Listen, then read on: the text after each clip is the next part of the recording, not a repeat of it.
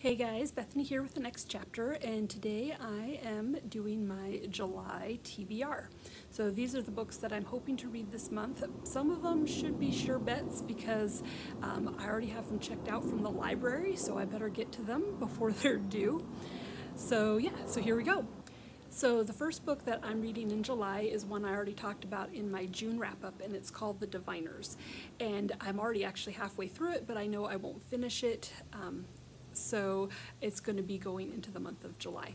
And it is, you know, 1920s set in New York, and it's a combination of, you know, like serial killer horror and supernatural um, elements. And so, so far, it's really, really good. If you want to hear more about it, check out my uh, June wrap up.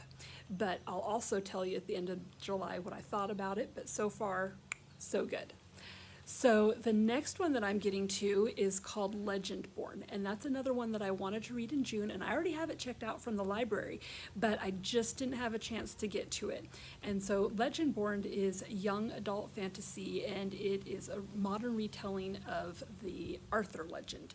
And I don't actually read a ton of fantasy, but I do enjoy the Arthur legend, so I'm looking forward to reading this one and actually getting it done this month. And then the next one that I want to read is actually something I read last year, and it was one of my top reads of 2020, and it's called Station 11.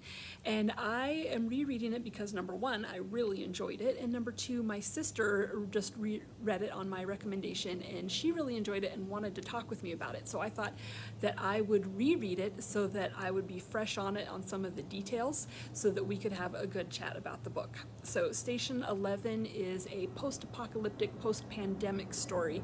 And we have, um, you know, a big disease that goes through the world, and you know everything is cut off, and um, you know, lots of people die, just few survivors. So um, it has this group of um, Shakespearean actors, and they just travel around to all the different settlements um, of people and put on performances. But what I liked about this one is it actually goes back and forth between um, before the pandemic and then after. And um, I really loved how everything came together in the end. So I'm actually really excited to read this one again and knowing the end and watching all those little pieces come together. So this um, will be a great read and I'm really excited for it.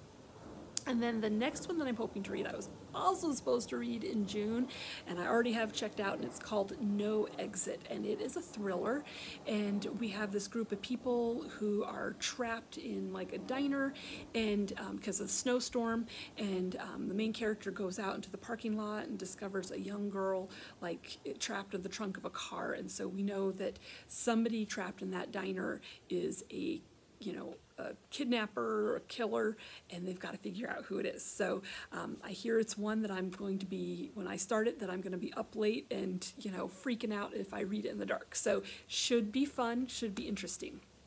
And then the last one that I'm going to read is called The Devil and the Dark Water.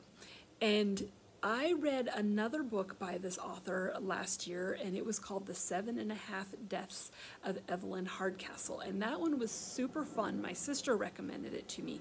And this book is a new release by the same author, so I'm really excited for it. The back describes it as a mix up of like Stephen King horror with. Um, Sherlock Holmes type detective work and throw in Pirates of the Caribbean.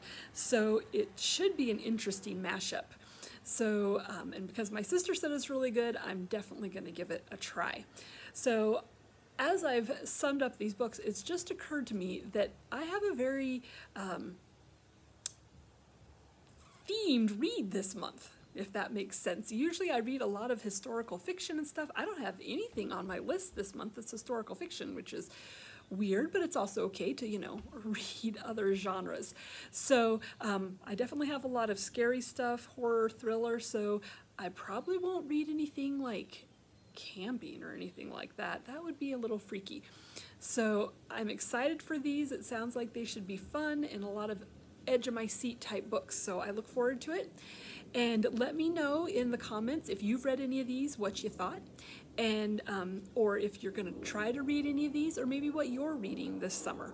So, and of course, as always, don't forget to subscribe so that you don't ever miss what's happening in the next chapter. And thanks for watching.